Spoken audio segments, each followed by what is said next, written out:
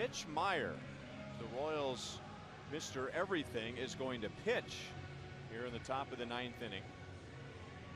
And it was just last year when Mitch Maier pitched against the Boston Red Sox. July the 26th. First time he had pitched since Little League, and he turned in a scoreless inning, having to pitch to hitters like Carl Crawford and David Ortiz. Mitch has a little bit of a knuckleball.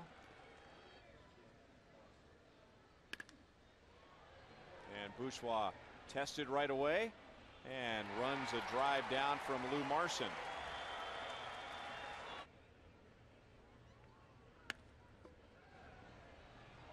And there's the first hit allowed by Mitch Maier. Michael Brantley has his third hit of the day.